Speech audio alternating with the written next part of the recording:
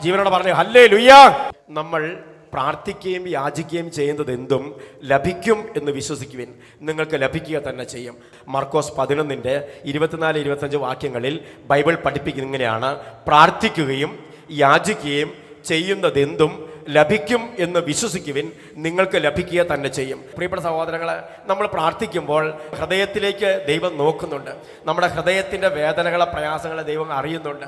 സങ്കീർത്തനം മുപ്പത്തിനാല് അതിന്റെ പതിനെട്ട് പത്തൊമ്പത് വാക്യങ്ങളിൽ ബൈബിൾ പഠിപ്പിക്കുന്ന ഇങ്ങനെയാണ്. ഹൃദയം നുറുങ്ങിയവർക്ക് കർത്താവ് സമീപസ്ഥനാണ്. മനം ഉരുകിയവരെ അവിടുന്ന് രക്ഷിക്കുന്നു. അതിനൊന്ന് ശ്രദ്ധിച്ചു കേട്ടെ. ഹൃദയം നുറുങ്ങിയവർക്ക് കർത്താവ് സമീപസ്ഥനാണ്. അപ്പോൾ നമ്മൾ പ്രാർത്ഥിക്കുമ്പോൾ നമുക്കുണ്ടായിരിക്കേണ്ട ഒരു പ്രധാനപ്പെട്ട മനോഭാവം ഇതാണ്. ഹൃദയത്തിൽ നിന്ന് ഉയരുന്ന പ്രാർത്ഥന. അതരത്തിന്റെ വ്യായാമമായിട്ടൊരു പ്രാർത്ഥനയുണ്ട്. അത് നമ്മൾ പഠിച്ചു വെച്ച ഒരു രീതിയുണ്ട്. അതനുസരിച്ച് നമ്മൾ ഈ കാസറ്റ് ഓൺ ചെയ്ത് വെച്ചാൽ അതങ്ങനെ പറഞ്ഞുകൊണ്ടിരിക്കുന്ന പോലെ റേഡിയോ ഓൺ ചെയ്ത് വെച്ചാൽ അതങ്ങനെ പറഞ്ഞുകൊണ്ടിരിക്കുന്ന പോലെ സംഭവിച്ചുകൊണ്ടിരിക്കും. എന്നാൽ കർത്താവ് നമ്മുടെ ഹൃദയത്തിലേക്ക് നോക്കുമ്പോൾ അതിന്റെ ഉള്ളിൽ നിന്ന് ഉയരുന്ന ഒരു പ്രാർത്ഥന. അതുകൊണ്ട് ബൈബിൾ പഠിപ്പിച്ചത്. ഹൃദയം നുറുങ്ങിയവർക്ക് കർത്താവ് സമീപസ്ഥനാണ്. മനം ഉരുകിയവരെ അവിടുന്ന് രക്ഷിക്കുന്നു. പ്രീസലോഡ് അത് വലിയ ആചാരമായിട്ട് നമുക്ക് പ്രാർത്ഥിക്കാൻ പറ്റിയില്ലെങ്കിലും വലിയ സാഹിത്യ ഭാഷയിൽ പ്രാർത്ഥിക്കാൻ പറ്റിയില്ലെങ്കിലും നമ്മുടെ ഹൃദയത്തിൽ നിന്ന് ഉയരുന്ന ഒരു നിലവിളി ഹൃദയത്തിൽ നിന്ന് ഉയരുന്ന ഒരു തേങ്ങൽ ഹൃദയത്തിൽ നിന്ന് ഉയരുന്ന ദൈവമേ എന്നുള്ളൊരു വിളി അതിനൊരു അർത്ഥമുണ്ട് അതിനെ ദൈവം മാനിക്കുന്നുണ്ട് അതൊരു അനുഗ്രഹമായിട്ട് കർത്താവ് കാണുന്നുണ്ട്. പ്രീസ് ലോഡ് പ്രിയപ്പെട്ട സഹോദരങ്ങളെ നമ്മൾ പ്രാർത്ഥിക്കുമ്പോൾ ഹൃദയം നുറുങ്ങി ദൈവത്തോട് പ്രാർത്ഥിക്കുക. ഉൽപ്പത്തി പുസ്തകം അതിന്റെ പതിനാറാം അധ്യായത്തിൽ ഒരു സംഭവം നമ്മൾ കാണുന്നുണ്ട്. അതിങ്ങനെയാണ് ഹാഗാർ എന്ന് പറയുന്ന അബ്രാഹത്തിന്റെ ഭാര്യയുടെ ദാസി സാറായുടെ ദാസി ഹാഗാർ എന്ന് പറയുന്ന പെൺകുട്ടി. നിങ്ങൾക്കറിയാം ആ ചരിത്ര പശ്ചാത്തലം. അബ്രാഹത്തിന് കുട്ടികൾ ജനിക്കാതിരിക്കുമ്പോൾ അബ്രാഹത്തോട് സാറ ഒരു റിക്വസ്റ്റ് നടത്തുന്നുണ്ട് ഒരു അപേക്ഷ നടത്തുന്നുണ്ട്. എന്റെ ഉദരം വന്ധ്യമായി തുടരുമെന്നാണ് തോന്നുന്നത്. അതുകൊണ്ട് നിങ്ങൾ എനിക്ക് യൗവനയുക്തയായ ഒരു ദാസിയുണ്ട്. അവളെ പ്രാപിച്ച് നിങ്ങളുടെ വംശപരമ്പര നിലനിർത്താൻ വേണ്ടി പരിശ്രമിക്കണം എന്ന് പറയുകയും അബ്രാഹം സാറായെ അനുസരിക്കുകയും അങ്ങനെ ഹാഗാർ ഗർഭിണിയാവുകയും ചെയ്യുന്ന ഒരു ചരിത്ര പശ്ചാത്തലം. ഇങ്ങോട്ട് നോക്കിയും. അത് മനസ്സിൽ വെക്കുക. അങ്ങനെ ഹാഗാർ ഗർഭിണിയായി കഴിഞ്ഞപ്പോൾ ഹാഗാർ ഗർഭാവസ്ഥയിൽ എത്തിക്കഴിഞ്ഞപ്പോൾ അവൾ യജമാനത്തിയോട് നിന്ദ്യമായി പെരുമാറാൻ തുടങ്ങി. അത് വളരെ രസകരമായ കാര്യമാണ്. അതായത് ഹാഗാർ ഗർഭിണിയായി യജമാനത്തി ഇപ്പോഴും വന്ധിയായിട്ടിരിക്കുന്നു ദാസിക്ക് യജമാനന്റെ കുഞ്ഞ് ഉദരത്തിലുണ്ട്. യജമാനത്തി ഇപ്പോഴും വന്ധിയാണ് ആ വീട്ടിൽ വല്ല കലഹം ഉണ്ടാവുമോ? സാധ്യതയുണ്ടോ? സാധ്യത വളരെ കൂടുതലാണ്. പോരാത്ത രണ്ട് സ്ത്രീകളാണ്. പ്രൈസ് അല്ലോൾ ഇവിടെ നോക്കൂ. ഈ ദാസി ഇപ്പോൾ യജമാനത്തിയോട് വളരെ നിന്ദ്യമായി പെരുമാറാൻ തുടങ്ങി. അങ്ങനെ നിന്ദ്യമായി പെരുമാറാൻ തുടങ്ങിയപ്പോൾ സാറ പോയിട്ട് അബ്രാഹത്തോട് ഒരു കംപ്ലൈന്റ് പറയുന്നത് നമ്മൾ അവിടെ വായിക്കും. പതിനാറാം അധ്യായം ഒന്നോട്ട് വായിച്ചോളണം ഉൽപ്പത്തി പുസ്തകത്തിൽ. അതിങ്ങനെയാണ് എന്റെ ഈ ദുരിതത്തിന് കാരണം നിങ്ങളാണ് എന്ന് പറഞ്ഞ് സാറ അബ്രാഹത്തെ കുറ്റപ്പെടുത്തുകയാണ്. ഉടനെ അബ്രാഹം പറഞ്ഞു സാറ ദാസ് നിന്റെ കീഴിലല്ലേ? നിനക്ക് ഇഷ്ടമുള്ളത് അവളോട് ചെയ്തോളാം പറഞ്ഞു. അങ്ങനെ സാറ അവൾക്ക് ഇഷ്ടമുള്ളത് ചെയ്യാൻ തുടങ്ങുമ്പോൾ പിന്നെ നമ്മൾ ഹാഗാറിനെ ആ വീട്ടിലല്ല കാണുന്നത് മരുഭൂമിയിലാണ് കാണുന്നത്. നിങ്ങളത് വായിക്കണം. പ്രിയപ്പെട്ട സഹോദരങ്ങളെ അബ്രാഹത്തിന്റെ ഭാര്യ സാറായുടെ ദുഷ്ടതയാണോ നന്മയാണോ തിന്മയാണോ നമുക്ക് വിധിക്കാൻ പറ്റില്ല. എന്തായാലും സാറായെ സഹിക്കാൻ പറ്റാതെ ഹാഗാർ ആ വീട് വിട്ടോടി മരുഭൂമിയിൽ എത്തുന്ന ഒരു ചരിത്രം നമ്മൾ പഠിക്കുന്നുണ്ട്. ഉൽപ്പത്തി പുസ്തകം പതിനാറാം അധ്യായത്തിൽ ഹാഗാർ മരുഭൂമിയിൽ എത്തി അവളൊരു വിജാതീയ സ്ത്രീയാണ്. അവൾക്ക് ദൈവത്തെക്കുറിച്ച് നല്ല തിരിച്ചറിവുള്ള ആളല്ല. എന്നാൽ അവൾ തന്റെ യജമാനൻ പ്രാർത്ഥിക്കുന്നത് കണ്ടിട്ടുണ്ട്. നമ്മളൊക്കെ നമ്മളെ പൂർവീരുടെ മുഖത്തേക്ക് നോക്കി നമ്മളെ സഭ നമ്മളെ പഠിപ്പിച്ചത് കേട്ട് നമ്മുടെ പു- ഗുരുഭൂതർ നമ്മളെ പഠിപ്പിച്ചത് കേട്ടൊക്കെ നമ്മളെ മാതാപിതാക്കളുടെ മുഖത്തേക്ക് നോക്കിയൊക്കെ പ്രാർത്ഥിക്കാൻ പഠിച്ചവരാണ്. ഇന്നതൊക്കെ കാലഹരണപ്പെട്ടു പോയി. ഇന്നതിന് കുറവ് വന്നു. നമ്മളൊക്കെ ഇങ്ങനെ ഒരു കമന്റ് പറയും. എത്രയാന്ന് കണ്ടാ പ്രാർത്ഥിക്കുന്നത്? ശരിയല്ലേ? എത്രയാണെന്ന് കണ്ടാ പ്രാർത്ഥിക്കുന്നത്? അധികമായാൽ? അധികമായാൽ? അമൃതം വിഷമാണ് പഴഞ്ചൊല്ലൊക്കെ നമുക്ക് നന്നായിട്ട് അറിയാം. ബൈബിൾ മാത്രം അറിയാത്ത കുഴപ്പമുള്ളൂ. പ്രീസ് അലോൺ പ്രിയപ്പെട്ട സഹോദരങ്ങളെ പ്രാർത്ഥിച്ചു പ്രാർത്ഥിച്ചു മടുത്തു എന്ന് ഒരു കൂട്ടർ പറയും. എത്രയാന്ന് കണ്ടാ പ്രാർത്ഥിക്കണമെന്ന് ഒരു കൂട്ടർ പറയും. എന്തിനാ ഇങ്ങനെ അധികം പ്രാർത്ഥിക്കുന്ന ഒരു കൂട്ടർ പറയും? നിങ്ങൾക്ക് ബൈബിളിൽ ഉൽപ്പത്തി തൊട്ട് വെളിപാട് വരെ വായിച്ചിട്ട് അവിടെ എവിടെയെങ്കിലും ഒന്ന് കാണിച്ചു തരാമോ? ഒത്തിരി പ്രാർത്ഥിച്ചാൽ അതൊരു ഒരു ഒരു ഒരു സമയനഷ്ടമാണ്. അല്ലെങ്കിൽ ഒരു ഒരു തടസ്സത്തിന് കാരണമായി തീരും. അല്ലെങ്കിൽ അതൊരു മോശക്കേടാണ് എന്ന് ഉൽപ്പത്തി തൊട്ട് വെളിപാട് വരെ പിന്നെ വായിച്ചിട്ട് പ്രാർത്ഥന അധികമായത് ഒരു കേടാണ് അല്ലെങ്കിൽ ഒരു ഒരു ബുദ്ധിമുട്ടാണ് എന്നൊരു ബൈബിൾ വാക്യം നിങ്ങൾക്ക് കാണിച്ചു തരാൻ പറ്റുമോ? പ്രൈസ് ലോഡ് നോക്കിയേ കാഗാർ ഒരു വിജാതീയ പെൺകുട്ടിയാണ്. അത് പോരാത്തതിന് വിവാഹം കഴിക്കാതെ യജമാനനിൽ നിന്ന് അവൾ ഗർഭിണിയായി. ഈ സാഹചര്യത്തിൽ അവൾ മരുഭൂമിയിൽ അകപ്പെട്ടു. നമ്മളിവിടെ ചിന്തിക്കേണ്ടത് ഒരുപാട് ദുരിതങ്ങൾ നമ്മുടെ കുടുംബത്തിൽ നമ്മൾ അനുഭവിച്ചിട്ടുണ്ടാകാം. ഒരുപാട് വേദനകൾ നമ്മുടെ സമൂഹത്തിൽ നമ്മൾ അനുഭവിച്ചിട്ടുണ്ടാകാം. ഒരു കാര്യം ഓർത്തോ കർത്താവ് നമ്മുടെ കൂടെ ഉണ്ട് എന്ന് മറക്കരുത്. നിയമാവർത്തന പുസ്തകം അതിന്റെ മുപ്പത്തിരണ്ടാം അധ്യായം പത്ത് പതിനൊന്ന് വാക്യങ്ങളിൽ നമ്മൾ വായിക്കുന്ന ഇങ്ങനെയാണ്. മരുഭൂമിയിൽ ശൂന്യത ഊരിയിടുന്ന മണലാരണത്തിൽ ഞാൻ നിന്നെ കണ്ടെത്തി. ഞാൻ നിന്നെ വാരിപ്പുണർന്നു. കണ്ണിലുണ്ണിയായി പരിചരിച്ചു. കൂടി ചലിപ്പിക്കുകയും വിരിച്ച ചിറകിന് മുകളിൽ കുഞ്ഞുങ്ങളെ വഹിക്കുകയും ചെയ്ത കഴുകനെ പോലെ നിന്നെ സംരക്ഷിച്ചത് ഞാനാണ്. ഒരുപക്ഷെ മരുഭൂമിയിൽ കാക്കാറിനോട് കർത്താവ് ഈ കാര്യം തന്റെ ദൂതൻ വഴി അറിയിച്ചിട്ടുണ്ടാകാം. പ്രിയപ്പെട്ട സഹോദരങ്ങളെ ഹാഗാർ യജമാനത്തിയെ ഭയപ്പെട്ട് അവളുടെ ക്രൂരത സഹിക്കാൻ പറ്റാതെ മരുഭൂമിയിലേക്ക് ഓടിപ്പോവുകയാണ്. മരുഭൂമിയിൽ അവൾ ദൈവത്തോട് പ്രാർത്ഥിച്ചു. മരുഭൂമിയിൽ അവൾ ദൈവത്തോട് നിലവിളിക്കുകയാണ്. സങ്കീർത്തന പുസ്തകം മുപ്പത്തിനാലിന്റെ ആറ് വചനം പഠിപ്പിക്കുന്ന ഇങ്ങനെയാണ്. ഈ എളിയവൻ നിലവിളിച്ചു. കർത്താവ് കേട്ടു. എല്ലാ കഷ്ടതയിൽ നിന്ന് അവിടുന്ന് അവനെ മോചിപ്പിച്ചു. ഈ മലമുകളിൽ ഈ മലമുകളിൽ ഞാനും നിങ്ങളും വന്നു ചേർന്നത് കർത്താവിന്റെ സന്നിധിയിൽ ഒന്ന് പൊട്ടിക്കരയാനാണ്. ദൈവമേ എന്റെ കഷ്ടത എന്റെ കഷ്ടത നീ കാണണമേ എന്ന് പറയാനാണ്. ഒരുപക്ഷെ ഈ ഹാഗാർ ആ വീട്ടിലിരുന്ന് പ്രാർത്ഥിച്ചിരുന്നെങ്കിൽ ഇത്രയും നന്നായിട്ട് പ്രാർത്ഥിക്കാൻ അവൾക്ക് പറ്റുമായിരുന്നില്ല. അതുകൊണ്ട് അവൾ യജമാനത്തെ വിട്ട് ആ സ്ഥലം വിട്ട് മരുഭൂമിയിലേക്ക് ഓടിപ്പോയി. മരുഭൂമിയിൽ അകപ്പെട്ട ഹാഗാറിന്റെ സ്ഥിതി നിങ്ങളൊന്ന് ചിന്തിച്ചു നോക്കുക. വിജനമായ സ്ഥലം ശൂന്യത ഓരിയിടുന്ന മണലാരണ്യം ശൂന്യത ഓരിയിടുന്ന മണലാരണ്യം. അവിടെ അവൾ നിരാശയിലാണ്. അവിടെ അവൾ ഒറ്റപ്പെട്ടവളാണ്. എല്ലാവരാലും ഉപേക്ഷിക്കപ്പെട്ടവളാണ്. വീട്ടിലേക്ക് തിരിച്ചെല്ലാൻ പറ്റുമോ? വിവാഹത്തിന് മുൻപ് യജമാനന്റെ നിന്ന വീട്ടിലെ കുട്ടി ഉദരത്തിൽ നോക്കൂ എത്രമാത്രം ദുസ്ഥിതിയാണ് ആ പെൺകുട്ടിക്കുള്ളത്. എങ്കിലും അവൾ നിരാശപ്പെടാതെ അവളുടെ യജമാനന്റെ ദൈവത്തെക്കുറിച്ചുള്ള ഒരു കേൾവി ഒരു കാഴ്ച ഒരു തിരിച്ചറിവ് അവൾക്കുണ്ട് ആ മരുഭൂമിയിൽ തന്റെ യജമാനന്റെ ദൈവത്തോട് പ്രാർത്ഥിക്കുന്ന ഹാഗാറിന്റെ ചിത്രം ദൈവം എനിക്കും നിങ്ങൾക്കും വേണ്ടി വിശുദ്ധ ഗ്രന്ഥത്തിൽ രേഖപ്പെടുത്തി വെച്ചിട്ടുണ്ട്. പ്രീസ് പ്രിയപ്പെട്ട സഹോദരങ്ങളെ ഹാഗാർ മരുഭൂമിയിൽ ദൈവത്തോട് പ്രാർത്ഥിച്ചു. ഈ ആലയത്തിൽ നാം എത്തി നിൽക്കുമ്പോൾ നമ്മുടെ കർത്താവിനോട് നമ്മൾ പ്രാർത്ഥിക്കുക. തന്റെ യജമാനന്റെ ദൈവത്തോട് അവളുടെ പ്രാർത്ഥന അതൊരു രോധനമായി മാറി. ബൈബിളാണ് അത് രേഖപ്പെടുത്തുന്നത്. അതിന്റെ പന്ത്രണ്ടാമത്തെ വാക്യം വാക്യത്തിൽ പത്ത് തൊട്ടുള്ള വാക്യങ്ങൾ വായിക്കുമ്പോൾ നമുക്ക് മനസ്സിലാകുന്ന കാര്യം എന്നറിയാമോ അതിങ്ങനെയാണ്. ഒരു ദൂതൻ ആ മരുഭൂമിയിൽ ഹാഗാറിന്റെ അരികിൽ പ്രത്യക്ഷപ്പെടുകയാണ്. ഹാഗാറിന്റെ അരികിൽ പ്രത്യക്ഷപ്പെട്ടിട്ട് ഹാഗാറിനോട് ആ ദൂതൻ വഴി ദൈവം അരുളി ഹാഗാർ നീ എവിടുന്ന് വരുന്നു? എങ്ങോട്ട് പോകുന്നു? ഉടനെ ഹാഗാർ പറയുന്ന മറുപടി ഇതാണ് ഞാൻ എന്റെ യജമാനത്തിൽ നിന്ന് ഓടിപ്പോരുകയാണ്. ഉടനെ ദൂതൻ പറഞ്ഞു നീ നിന്റെ യജമാനത്തിൽ അരികിലേക്ക് തിരിച്ചു ചെല്ലണം. നീ നിന്റെ വീട്ടിലേക്ക് തിരിച്ചു ചെല്ലണം. നിന്നെ ദൈവമാക്കിയ സ്ഥലത്ത് നീ ചെല്ലണം. ഒരു പ്രശ്നം ഉണ്ടാകുമ്പോൾ ഒരു പ്രതിസന്ധി ഉണ്ടാകുമ്പോൾ ഒരു രോഗം ഉണ്ടാകുമ്പോൾ ഒരു കഷ്ടത ഉണ്ടാകുമ്പോൾ ആ സ്ഥലത്ത് നിന്ന് മാറി നിൽക്കാൻ എളുപ്പമാണ്. ധ്യാനം ഇവിടെ താമസിച്ചുള്ള ധ്യാനം കഴിയുമ്പോൾ ഒത്തിരി ആളുകൾ ഞങ്ങളോട് പറയുന്ന ഒരു ഒരു ഡയലോഗ് ഇതാണ്. ബ്രദറെ ഇവിടെ ആയിരിക്കുന്നതാണ് നല്ലത്. പണ്ട് ആ മലമുകളിൽ പ്രാർത്ഥിക്കാൻ പോയി അപ്പസ്തോലന്മാരും യേശു ക്രിസ്തുവും കൂടെ. പ്രധാനപ്പെട്ട രണ്ട് മൂന്ന് അപ്പസ്തോലന്മാരെയും കൊണ്ട് യേശു ക്രിസ്തു ആ മലയുടെ താപോർ മലയുടെ മണ്ടയിലേക്ക് കയറി പ്രാർത്ഥിച്ചു. അവിടെ ദർശനമുണ്ടായി ദൈവാനുഭവം ഉണ്ടായി വലിയൊരു വെളിപാട് അവർക്ക് ലഭിച്ചു കഴിഞ്ഞപ്പോൾ പത്രോസും കൂട്ടരും യേശു പറയുന്ന ഒരു കാര്യമുണ്ട്. ഇവിടെ ആയിരിക്കുന്നത് നല്ലതാണ്. ഞങ്ങൾ മൂന്ന് കൂടാരം ഉണ്ടാക്കാം. ഒന്ന് നിനക്ക് ഒന്ന് ഏലിയായ്ക്ക് ഒന്ന് മോശയ്ക്ക് എന്ന് പറഞ്ഞാൽ ഈ സ്ഥലം വിട്ടു പോകാതിരിക്കുന്നതാണ് നല്ലത്. അഞ്ചു ദിവസം താമസിച്ച് ധ്യാനം കൂടി കഴിയുമ്പോൾ എനിക്കും നിങ്ങൾക്കും ഉണ്ടാകുന്ന ഒരു വികാരം അതാണ്. ഇവിടെ ആയിരിക്കും നല്ലതാണ്. ഈ അറ്റ്മോസ്ഫിയർ അല്ലെങ്കിൽ ഈ അന്തരീക്ഷം വളരെ ബെറ്റർ ആണ്. പ്രിയപ്പെട്ട സഹോദരങ്ങളെ ഹാഗാറിനോട് ദൈവം പറയുന്നത് ദൈവത്തിന് വേണമെങ്കിൽ മരുഭൂമിയിൽ ഒരു ജലാശയം തീർത്ത് ഒരു കൂടാരം പണിത് ആ സ്ത്രീയെ അവിടെ പാർപ്പിക്കാൻ പറ്റും കർത്താവിന്.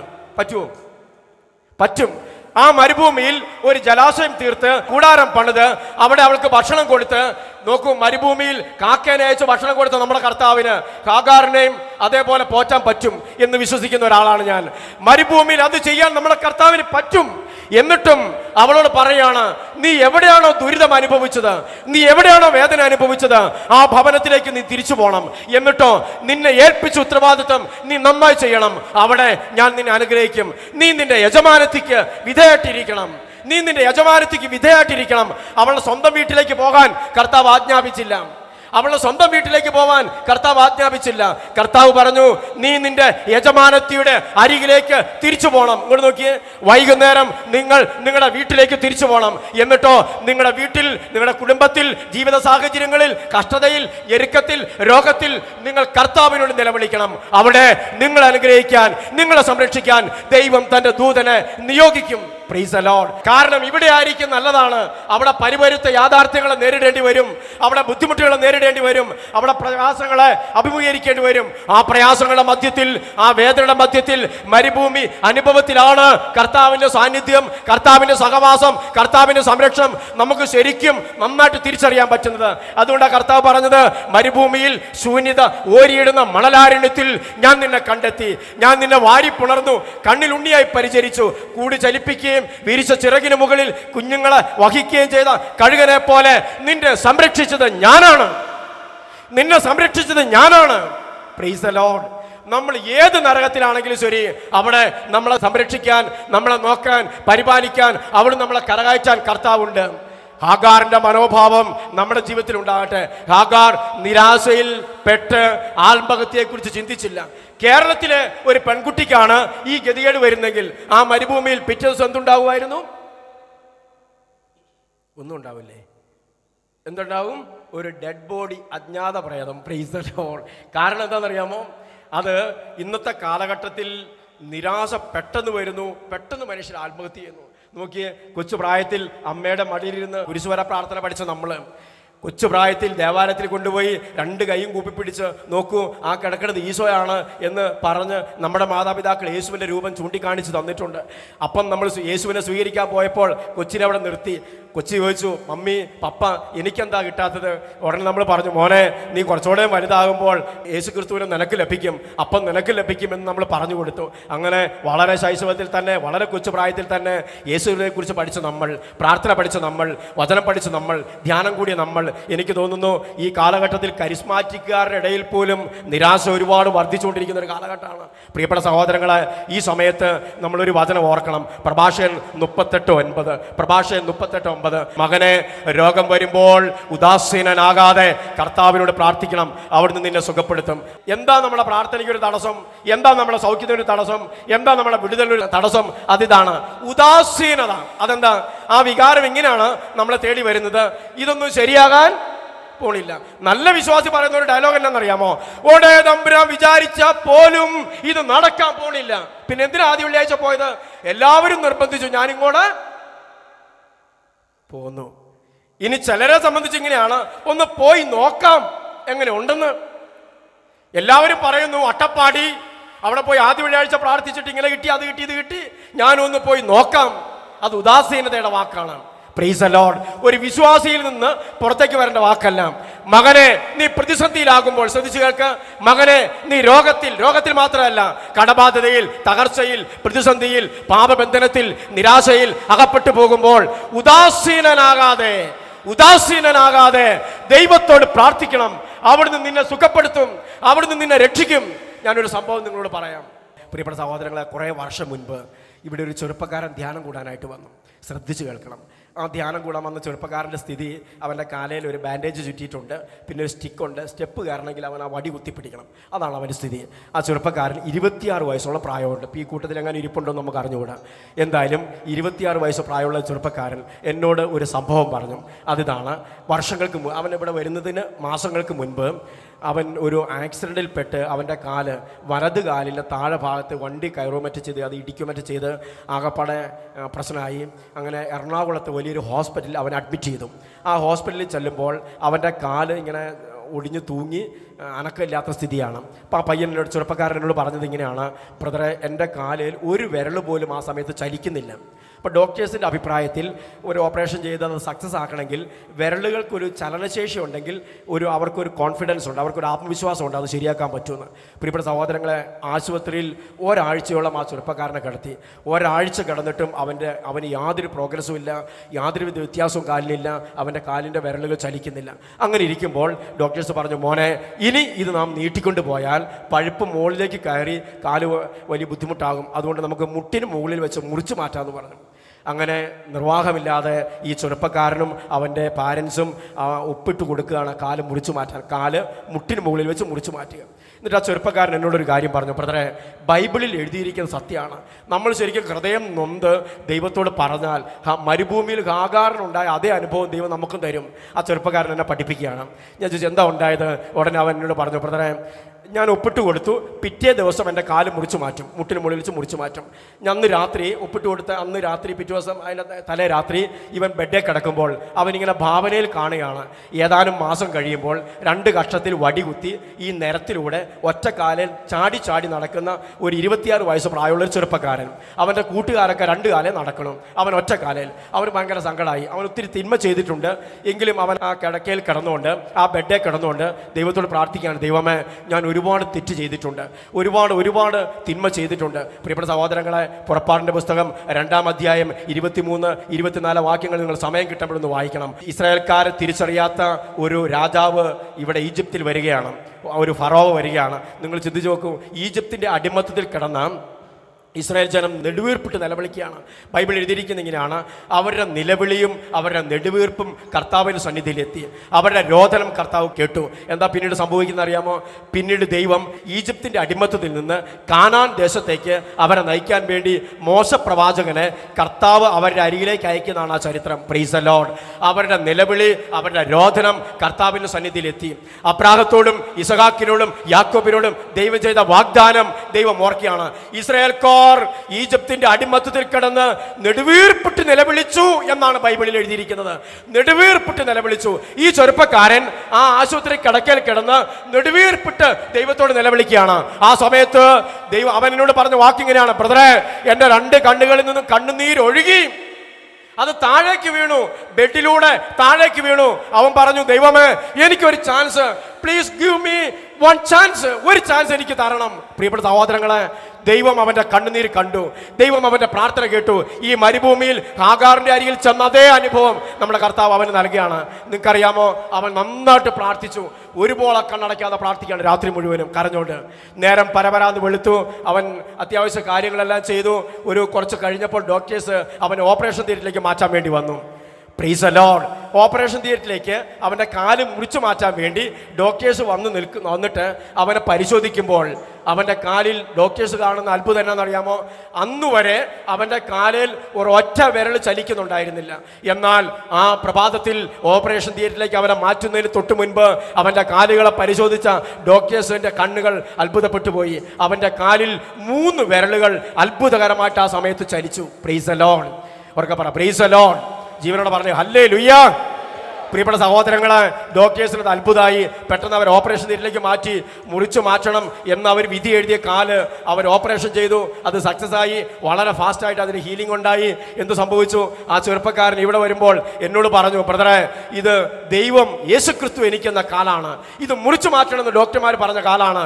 എന്നാൽ ഒറ്റ രാത്രി കൊണ്ട് എന്റെ പ്രാർത്ഥന എന്റെ കണ്ണുനീര് എന്റെ നിലവിളി എന്റെ കർത്താവിന്റെ സന്നിധിയിൽ എത്തിയപ്പോൾ അവിടുന്ന് വീണ്ടും ഒരിക്കൽ കൂടെ എന്നോട് കരുണ കാണിച്ച് ഈ കാൽ എനിക്ക് നൽകി. ഹൃദയം നുറുങ്ങിയവർക്ക് കർത്താവ് സമീപസ്ഥനാണ്. മനമുരുകിയവരെ അവിടുന്ന് രക്ഷിക്കുന്നു എന്ന വചനം പൂർത്തിയായി. പ്രിയപ്പെട്ട സഹോദരങ്ങളെ ഇസ്രയേൽക്കാർ ഈജിപ്തിന്റെ അടിമത്തത്തിൽ കിടന്ന് തേനും പാലും ഒഴുകുന്ന ദേശത്തേക്ക് പോകുന്നതിന് തൊട്ട് മുൻപ് അവൻ അനുഭവിച്ച വേദന ഞെരുക്കും എത്ര വലുതാണ്. എത്ര വലുതാണ്? ഇസ്രായേൽക്കാരോട് ദൈവം ചെയ്ത വാഗ്ദാനം ആ ഞെരുക്കത്തിൽ കർത്താവ് ഓർക്കുകയാണ്. അവരുടെ കണ്ണുനീരും രോധനവും ദൈവസന്നിധിയിൽ എത്തിയപ്പോൾ ദൈവം അപ്രാഹത്തോടും ഇസഹാക്കിനോടും യാക്കോബിനോടും ചെയ്ത വാഗ്ദാനത്തെ ഓർക്കുകയും അവരെ അവിടുന്ന് മോചിപ്പിക്കാൻ മോശപ്രവാചകനെ ഒരു ദൂതനെ പോലെ അവരുടെ മധ്യ അയക്കുകയും ചെയ്യുന്ന ചരിത്രം. പ്രീസ് ലോഡ് ഇങ്ങോട്ട് നോക്കിയേ. ഇത് നമുക്ക് നൽകുന്ന സന്ദേശം എന്താണ്?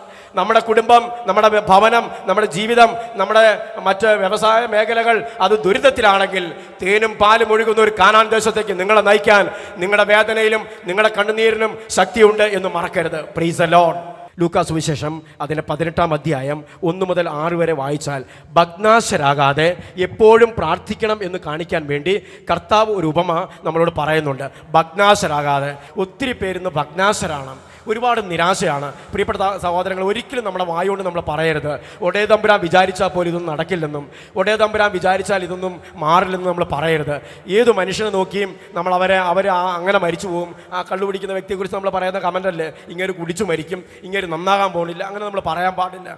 ഭഗ്നാശരാകരുത് നമ്മൾ ജർമ്മയ പ്രവാചന പുസ്തകം മുപ്പത്തിരണ്ട് ഇരുപത്തേഴ് വചനം പഠിപ്പിക്കുന്ന ഇങ്ങനെയാണ്. ഞാൻ സകല മർത്യരുടെയും ദൈവമായ കർത്താവാണ്. എനിക്ക് അസാധ്യമായി ഒന്നുമില്ല എന്നല്ല ബൈബിൾ എഴുതിയിരിക്കുന്നത്.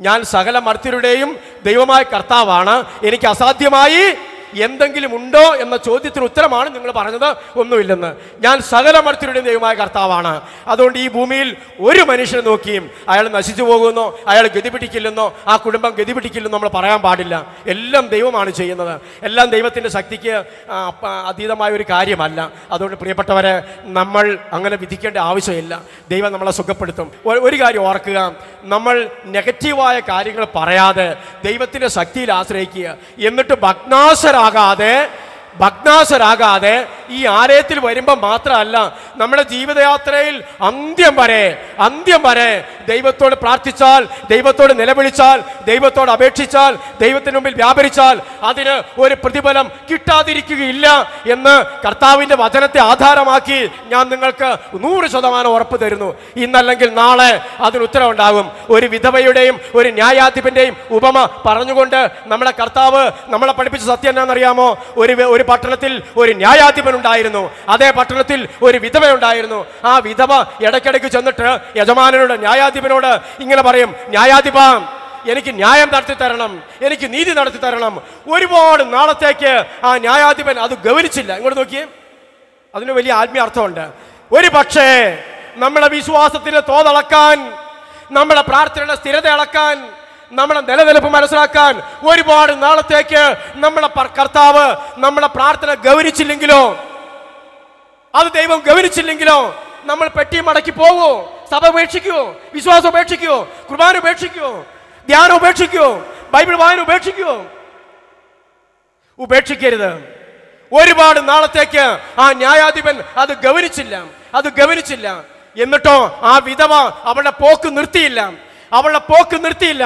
അവൾ നിരന്തരം അവൾ നിരന്തരം ആ യജമാനന്റെ അരികിൽ ചെന്ന് അവനോട് പറയാൻ തുടങ്ങി. നീതി നടത്തി തരണം. എന്നിട്ട് കർത്താവ് പറയാണ് ആ ന്യായാധിപൻ ഇങ്ങനെ പറയാണ് ഈ വിധവ എന്നെ കൂടെ കൂടെ ശല്യം ചെയ്യുന്നത് കൊണ്ട് ഞാൻ അവർക്ക് നീതി നടത്തി കൊടുക്കും. എത്ര സുന്ദരമായ വാക്കാണ് ഈ വിധവ കൂടെ കൂടെ എന്നെ ശല്യം ചെയ്യുന്നത് കൊണ്ട് ഞാൻ അവൾക്ക് നീതി നടത്തി കൊടുക്കും. എന്നിട്ട് കർത്താവ് പറയാണ് ആ ന്യായാധിപൻ പറഞ്ഞതെന്തെന്ന് ശ്രദ്ധിക്കുവിൻ. ആ ന്യായാധിപന് ഒരു തിരിച്ചറിവുണ്ടായിരുന്നു. ഞാൻ ദൈവത്തെ ഭയപ്പെടുകയോ മനുഷ്യരെ മാനിക്കുകയോ ചെയ്യാത്ത ഒരു മനുഷ്യനാണെങ്കിലും ഇവളുടെ ശല്യം സഹിക്കാതെ നീതി നടത്തി കൊടുക്കാൻ ഞാൻ തീരുമാനിക്കുന്നു. പ്രിയപ്പെട്ട സഹോദരങ്ങളെ എന്നിട്ട് കർത്താവ് പറയാണ് ആ ന്യായാധിപൻ പറഞ്ഞത് എന്താണെന്ന് ശ്രദ്ധിക്കുവിൻ. അങ്ങനെയെങ്കിൽ രാവും പകലും തന്നെ വിളിച്ച് കരയുന്ന തന്നെ തിരഞ്ഞെടുക്കപ്പെട്ടവർക്ക് അതാണ് പ്രധാനപ്പെട്ട വാചനം. ഇങ്ങോട്ട് നോക്കിയേ.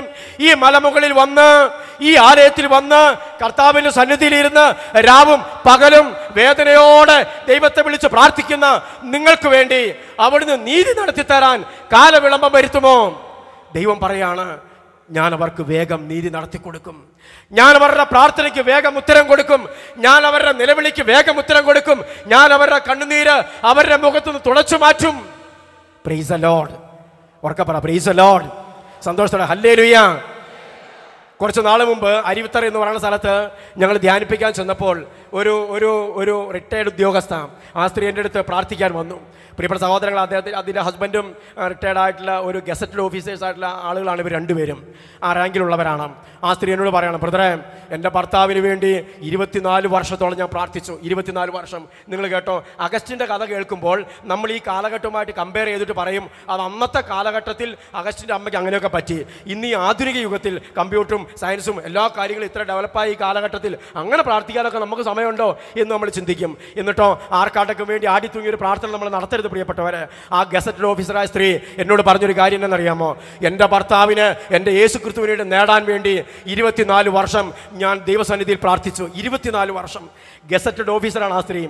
ഹസ്ബൻഡും അതുപോലെ തന്നെ അതേ റാങ്കിലുള്ളവരാണ്. ആ സ്ത്രീ പറയാണ് എനിക്കൊരു വാശിയുണ്ടായിരുന്നു. മരിക്കണതിന് മുമ്പ് എന്റെ ഹസ്ബൻഡിന്റെ ആത്മാവിന് ദൈവത്തിന് വേണ്ടി നേടണം. അതിന് ഞാൻ ഈ ഭൂമിയിൽ കണ്ണീരൊഴുക്കിയതും പ്രാർത്ഥിച്ചതും നിലവിളിച്ചതും ഇരുപത്തിനാല് വർഷമാണ്. ഇരുപത്തിനാല് വർഷം. എന്നിട്ട് ആ സ്ത്രീ എന്നോട് പറയാണ് ആ വീട്ടമ്മ പറയാണ് എന്റെ മോനെ നല്ല പ്രായമുണ്ട്. എന്റെ മോനെ എന്റെ ഹസ്ബൻഡ് മരിക്കുന്നതിന് ഒരു വർഷം മുൻപ് മരിക്കുന്നതിന് ഒരു വർഷം മുൻപ് അദ്ദേഹം മാനസാന്തരപ്പെടുകയും മദ്യപാനവും പുകവലിയും തോന്നിവാസവും നിർത്തി വിശ്വാസിയായി.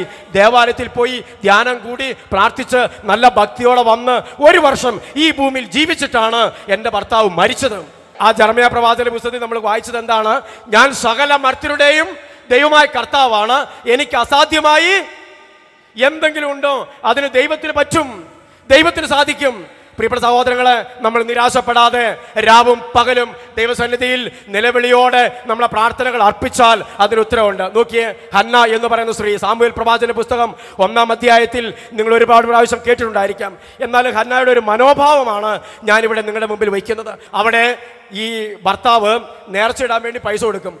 ഹന്ന കൂടാതെ മറ്റൊരു സ്ത്രീകളെ അദ്ദേഹത്തിന് ഭാര്യയായിട്ടുണ്ടായിരുന്നു. അപ്പോൾ ആ സ്ത്രീക്കും കുട്ടികൾക്കും കൂടുതൽ പൈസ കൊടുക്കും. ഹന്ന ഒറ്റ ആയതുകൊണ്ട് കുറച്ച് കൊടുക്കുള്ളൂ. ഭയങ്കര സങ്കടം. ഹസ്ബൻഡ് അവളെ ആശ്വസിപ്പിച്ച് ഇങ്ങനെയാണ്. ഹന്ന നീ എന്തിനാ ഇങ്ങനെ വിഷമിച്ചിരിക്കുന്നത് നിനക്ക് ഞാൻ പത്ത് മക്കളെക്കാൾ ഉപരിയല്ലേ? പത്ത് മക്കളെക്കാൾ ഉപരിയല്ലേ? എന്ന് പറഞ്ഞ് അവളെ ആശ്വസിപ്പിക്കും. ഭർത്താവ് ഭാര്യനെ ആശ്വസിപ്പിക്കും. പ്രിയപ്പെട്ട സഹോദരങ്ങളെ ഒരു ദിവസം ഭക്ഷണവും പാനീയവും കഴിഞ്ഞിട്ട് ഹന്ന നേരെ പോയത് യേശു റൂമിലേക്ക് അഞ്ച് മിനിറ്റ് റെസ്റ്റ് ചെയ്യാനല്ല. അത് മറക്കരുത്. പ്രാർത്ഥ ഭക്ഷണവും പാനീയവും കഴിഞ്ഞിട്ട് അഞ്ച് മിനിറ്റ് റെസ്റ്റ് ചെയ്യാനല്ല ഹന്ന പോയത്. അവളുടെ കുറവിനെ കുറിച്ച് അവളുടെ ന്യൂനതയെ കുറിച്ച് അവൾക്ക് തിരിച്ചറിവുണ്ടായിരുന്നത് കൊണ്ട് അവൾ നേരെ ദേവാലയത്തിലേക്ക് പോയി. ദേവാലയത്തിലേക്ക് പോയി. എന്നിട്ട് ബൈബിളിൽ എഴുതിയിരിക്കുന്ന വചനം ഇങ്ങനെയാണ്. അവൾ ഹൃദയം നൊന്ത് കരഞ്ഞ് പ്രാർത്ഥിച്ചു. അവൾ ഹൃദയം നൊന്ത് കരഞ്ഞ് പ്രാർത്ഥിച്ചു. എന്താ അതിന് ഉത്തരം? അവിടെ ഇരുന്ന പുരോഹിതനിലൂടെ ദൈവമായ കർത്താവ് സംസാരിച്ചു. നിന്റെ ദുഃഖം നിന്റെ വേദന കർത്താവ് അകറ്റട്ടെ. അടുത്ത വസന്തത്തിൽ നിനക്കൊരു കുഞ്ഞ് ജനിക്കട്ടെ. പ്രീസ് ലോഡ് പിന്നീട് അവളുടെ മുഖം മ്ലാനമായിരുന്നില്ല. ഇരുപത്തിരണ്ടാമത്തെ വാക്യം നമ്മൾ വായിക്കുന്നു. അങ്ങനെ അവൾ അവന് സാമുവേൽ എന്ന് പേരിട്ട്. നോക്കി അവളുടെ കണ്ണുനീരും വേദനയും കർത്താവിന്റെ സന്നിധിയിൽ എത്തിയപ്പോൾ അവരുടെ ഹൃദയത്തിന്റെ ഭാരം ദൈവസന്നിധിയിൽ ബൈബിൾ എഴുതിയിരിക്കുന്നതിനാണ്. അവൾ ഹൃദയം നൊന്ത് പ്രാർത്ഥിച്ചു.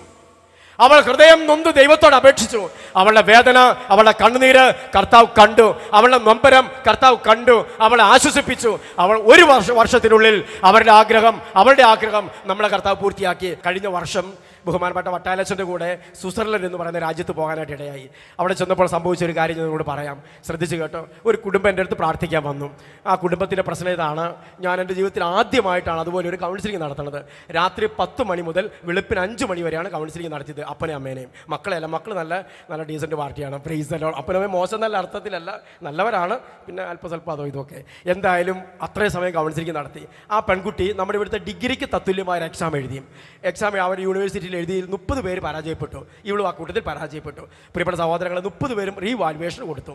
റീവാലുവേഷൻ കൊടുത്തു. എന്നിട്ട് ഈ പെൺകുട്ടി എന്നോട് പറഞ്ഞു ഇനി ജയിക്കാൻ സാധ്യതയില്ല. എനിക്ക് അമേരിക്കയിൽ പോയി ഉപരിപഠനം നടത്തണമെന്നാണ് ആഗ്രഹം. അത് നടക്കുമെന്ന് തോന്നണില്ല. എന്തായാലും ആ കുട്ടിക്ക് വേണ്ടി പ്രാർത്ഥിച്ചു. ദൈവം പറഞ്ഞു അവളോട് പ്രാർത്ഥിക്കാൻ പറ. അവളുടെ കരച്ചിലെന്ന് വെച്ചാൽ നമുക്ക് സഹിക്കില്ല. അവിടുത്തെ ആ നിഷ്കളങ്കമായ ഒരു അന്തരീക്ഷമാണ് ഇവിടുന്ന് പോയ മലയാളികൾക്ക് അവിടെ. അവിടെ ജനിച്ച പിള്ളേർക്ക് പ്രത്യേകിച്ച് ഒരു നല്ല നിഷ്കളങ്ക അന്തരീക്ഷമുണ്ട്.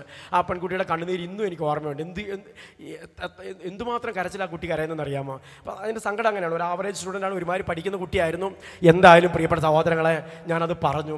തിരിച്ചു പോന്നു. ആ അപ്പനോടും അമ്മയോടും പറഞ്ഞു നിങ്ങളുടെ കുട്ടിക്ക് വേണ്ടി നന്നായിട്ട് പ്രാർത്ഥിക്കുക ദൈവം ഇടപെടും. അവരത് വിശ്വസിച്ചു.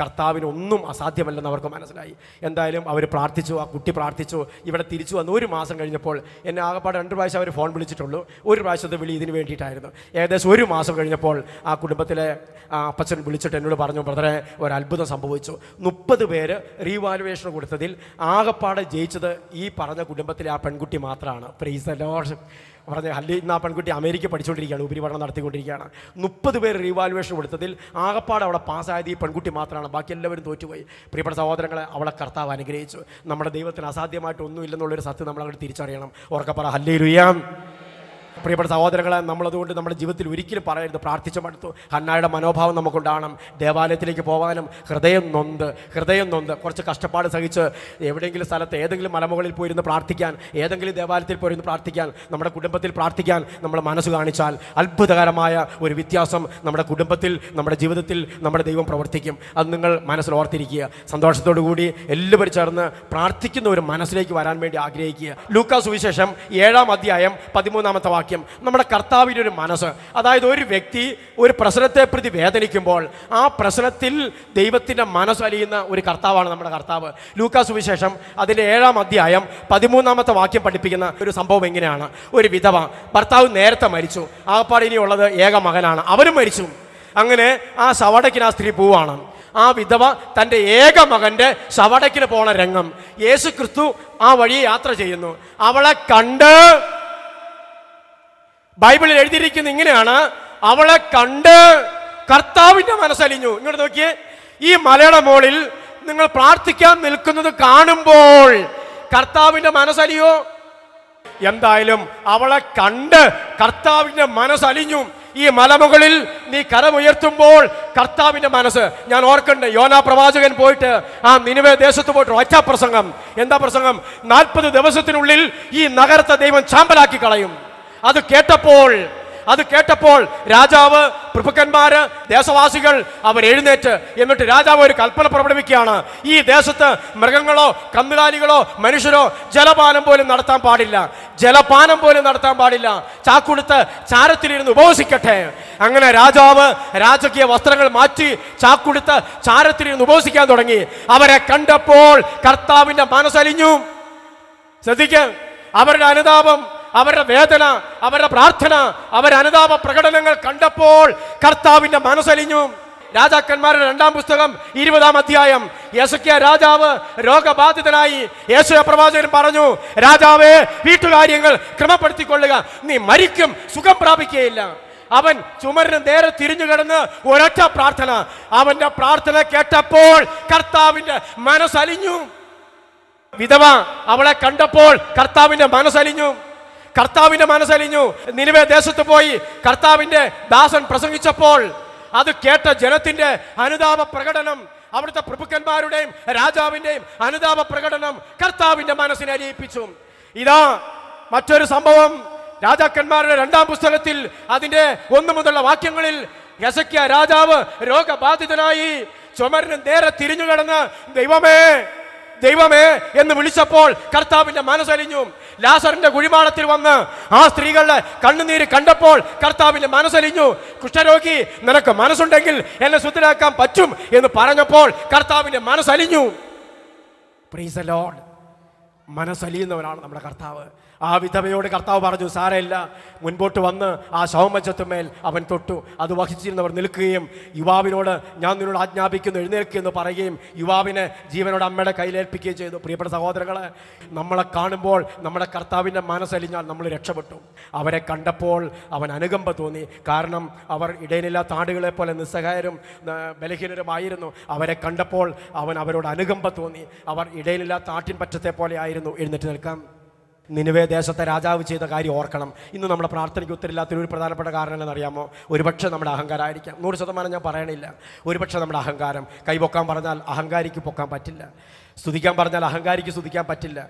കാരണം എന്താ? അനുസരിക്കാൻ ബുദ്ധിമുട്ടുള്ളത് അഹങ്കാരികൾക്ക് മാത്രമാണ്. എളിമയുള്ളവർക്ക് അനുസരിക്കാൻ വളരെ ഈസിയാണ്. പ്രൈസ് ലോഡ് നിങ്ങളുടെ വിദ്യാഭ്യാസമോ സമ്പത്തോ ആരോഗ്യമോ സൗന്ദര്യമോ കഴിവോ ഒന്നും ദൈവസന്നിധിയിൽ എളിമപ്പെടുന്നതിന് തടസ്സമായിട്ട് നിൽക്കാൻ പാടില്ല. തടസ്സമായിട്ട് നിൽക്കാൻ പാടില്ല. അതുകൊണ്ട് പ്രിയപ്പെട്ടവരെ നല്ല എളിമയോടെ ദൈവമേ ആ ദേശത്തെ രാജാവ് പോലെ രാജകീയ വസ്ത്രങ്ങൾ മാറ്റി എന്റെ വിദ്യാഭ്യാസത്തിന്റെ വസ്ത്രം മാറ്റണം എന്റെ ആരോഗ്യത്തിന്റെ വസ്ത്രം മാറ്റണം സമ്പത്തിന്റെ വസ്ത്രം മാറ്റണം എന്റെ കഴിവിന്റെ വസ്ത്രം മാറ്റണം എന്റെ അഭിഷേകത്തിന്റെ വസ്ത്രം മാറ്റണം. എന്നിട്ട് ദൈവസന്നിധിയിൽ ദൈവമേ ദൈവമേ എന്ന് വിളിക്കുന്ന ഒരു മനസ്സ് എളിമയുടെ സ്നേഹത്തിന്റെ ഒരു മനസ്സ് രണ്ട് കരങ്ങളും സ്വർഗത്തിലേക്ക് ഉയർത്തിപ്പിടിക്കുന്നു കണ്ണുകൾ അടച്ചു പിടിക്കുന്നു. കർത്താവെ ഞാൻ നിസ്സഹാവസ്ഥയിലാണ്. ആ മരുഭൂമിയിൽ ഹാകാറിന്റെ മനോഭാവം എന്തായാലും നമുക്ക് ചിന്തിക്കാൻ പറ്റില്ല. ചിന്തിക്കാൻ പറ്റില്ല. അത്രയും ദാരുണമാണ്. അവിടെ ദൈവം അവളെ കണ്ടെത്തി. ഹന്ന ദേവാലയത്തിലേക്ക് പോയി. ഹൃദയം നിന്ന് എങ്ങനെ നമുക്ക് അറിഞ്ഞുകൂടാ. പക്ഷേ ദൈവം അവളെ കണ്ടെത്തി. ഇതാ ആ വിധവ അവളുടെ മകന്റെ ശവടക്കിന് പോയപ്പോൾ അവരുടെ മനോഭാവം നമുക്ക് നന്നായിട്ട് മനസ്സിലാക്കാൻ പറ്റില്ല. എങ്കിലും കർത്താവ് അവളെ കണ്ടെത്തി. കുഷ്ഠരോഗി പറഞ്ഞു നിനക്ക് മനസ്സുണ്ടെങ്കിൽ എന്നെ ശുദ്ധനാക്കാൻ പറ്റും. എനിക്ക് മനസ്സുണ്ട്. മോനെ. നിനക്ക് സൗഖ്യം ഉണ്ടാകട്ടെ എന്ന് പറഞ്ഞ കർത്താവിന്റെ മനോഭാവം മനസ്സിലാക്കുക ഈജിപ്ത് ദേശത്ത് അടിമത്തത്തിൽ കിടന്ന് ഇസ്രായേൽ ജനം നെടുവീർപ്പെട്ടു. പുറപ്പാട് രണ്ട് ഇരുപത്തിമൂന്ന് നമ്മൾ വായിച്ചു. അവരുടെ നിലവിളി കർത്താവ് കേട്ടു. അവരുടെ കണ്ണുനീര് കർത്താവ് കണ്ടു. പ്രിയപ്പെട്ടവരെ നിങ്ങൾ രോഗിയായിരിക്കാം. ഒരുപക്ഷെ മരിക്കും എന്ന് ഡോക്ടേഴ്സ് പറഞ്ഞിട്ടുണ്ടായിരിക്കാം. ഹെസക്ക രാജാവ് നിങ്ങൾക്ക് മാതൃകയായി മുമ്പിലുണ്ട്. കണ്ണുകൾ അടച്ച് രണ്ട് കരങ്ങൾ സ്വർഗത്തിലേക്ക് ഉയർത്തിപ്പിടിച്ചു. ദൈവമേ ഞങ്ങളെ സഹായിക്കണമേ. രണ്ട് കരങ്ങൾ നന്നായിട്ട് ഉയർത്തി. നിങ്ങൾക്ക് എന്തോരം സ്വരത്തിൽ പ്രാർത്ഥിക്കാൻ പറ്റും അത്രയും സ്വരത്തിൽ. ഓരോരുത്തരെ ശേഷി അനുസരിച്ച് നന്നായിട്ട് കരങ്ങൾ ഉയർത്തി. യേശുവേ യേശുവേ എന്ന് വിളിച്ച് റോമ പത്ത് പതിമൂന്ന് ആ വചനം അനുസരിച്ച് ആ വചനം അനുസരിച്ച് എല്ലാവരും അനുസരിച്ച് എല്ലാവരും സ്വരമുയർത്തി വിളിക്കട്ടെ. കുറച്ചുകൂടെ ആദരത്തോടെ വിളിക്കട്ടെ. കുറച്ചുകൂടെ ആത്മാർത്ഥതയോടെ വിളിക്കട്ടെ. അടുത്ത് നിൽക്കുന്ന ഒരു പത്ത് പേർക്ക് കേൾക്കാവുന്ന അത്രയും സ്വരത്തിൽ യേശുവിനെ വിളിക്കട്ടെ. ആദ്യമായിട്ട് വന്നവരും ഒരുപാട് പ്രാവശ്യം വന്നവരും ഒരുപാട് പ്രാർത്ഥിച്ചവരും പ്രാർത്ഥിച്ച് മടുത്തു എന്ന് പറഞ്ഞവരും എല്ലാവരും യേശുവിനെ വിളിക്കട്ടെ. ഒരു അത്ഭുത സൗഖ്യത്തിന് വേണ്ടി ഒരു അത്ഭുത വിടുതലിന് വേണ്ടി വാ തുറക്കാത്തവര് വാ തുറന്ന് വിളിക്കുക. കാഴ്ചക്കാരൻ അനുഗ്രഹം പ്രാപിക്കില്ല. കേൾവിക്കാരൻ അനുഗ്രഹം പ്രാപിക്കില്ല. എന്നാൽ ഹൃദയം മുറുങ്ങുന്നവൻ കർത്താവിന്റെ അനുഗ്രഹം പ്രാപിക്കും.